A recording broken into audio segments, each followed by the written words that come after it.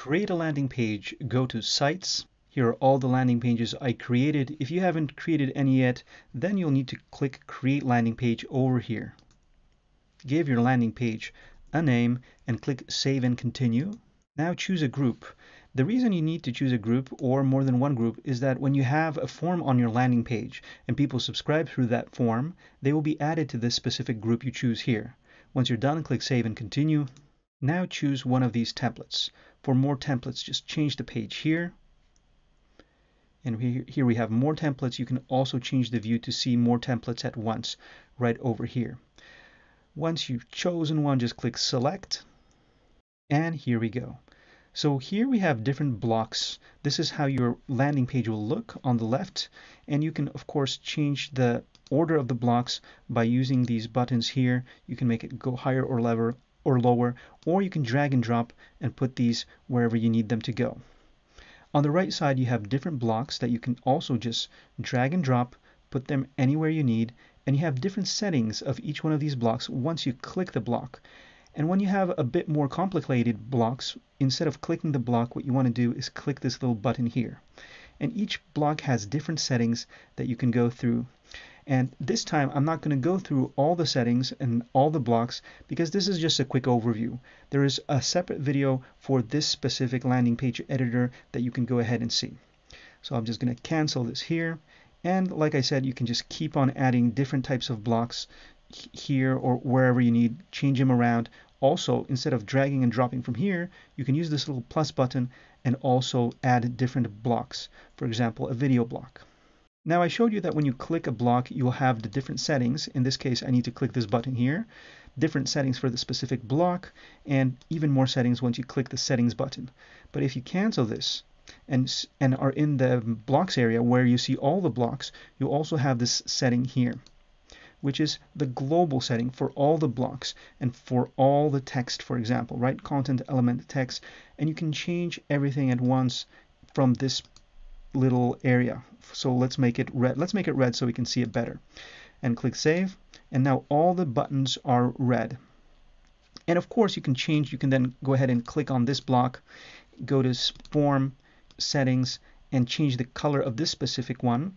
And let's change it back to black there we go. So this one is red, this one is black, and all the other ones are red again. So these are the global settings.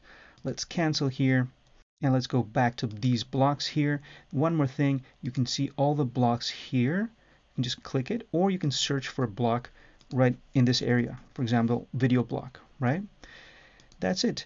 To go back, you just click this button here and you can discard all the changes. This is the landing page. Now when people subscribe to your form that you added to your landing page, you they will see the success page here. And you can also edit the success page. You can add different blocks, etc., etc. Now let's go back to the landing page. I have these buttons red. I changed this to black, but I didn't save it, so it's it's red like it was before. Here I have the history of all the changes I did, and I can go all the way back. And what this will do is uh, let's let's see if I just change the color here. There we go, we have black again. And then if I go to the bottom and undo, even the block will disappear because that was not originally in this template. You can click the preview and see the version of this um, landing page for desktop and mobile. See the preview link that you can share with your subscribers or with your website visitors on social media, etc. And then we have different actions here. So you can save this as a template. So you can use this template, change it around, and then save it as your own template. You can also remove all the content blocks if you want to start from scratch by clicking this button, which I'm not going to do now. Now, once you're done with all the edits, with all the changes, you can either save this landing page as a draft or you can publish it so others can start seeing it. Let's click Save and Publish. And here we go. Here are the page settings. You can give the page another name.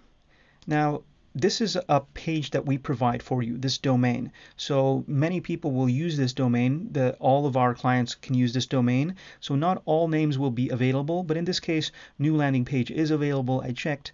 Now, if you click this button here, you can also see your custom domains. Now, this is not a real domain, but I added this custom domain called yourcustomdomain.com. And you can add new domains by using this button here. Just click it, follow the instructions, and you can add your own domain. Now this is the favicon. This is what you see when you when someone opens the tab of your website in their browser. That little little picture there. This is what you will see there. You can change this. Now we have the SEO settings. This will help people find your website, your your landing page on in Google or Bing or whatever search engine they use. So you can add the page title, page keywords, page description, etc., etc. And social share. This is nice because you can add a special image that will show up in Facebook instead of uh, an image from your landing page. You can you can set up a different image. And the social share description, social share title, and analytics and custom code. So this is for Google Google Analytics, Facebook Pixel, and you can use this header code injection for other programs you might be using.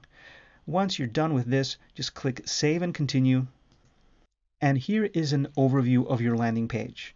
You can turn off or on double opt-in. It's always a good idea to have this turned on. Here is the URL we just created with the word new landing page here. You can edit it, like I said, add your own domain. And here is the landing page. You can have a preview, you can unpublish it if you want, and you can create up to five different split tests for this landing page. So it's like having five different pages.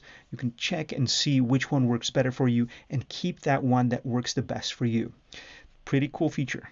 I'll have a separate video for that too. Just subscribe to our YouTube channel. And the page settings are here. This is what we just went through a moment ago, so I'm not going to go in there again. Analytics, this will start changing once people actually start subscribing to your landing page or visiting your landing page. Here we have automation.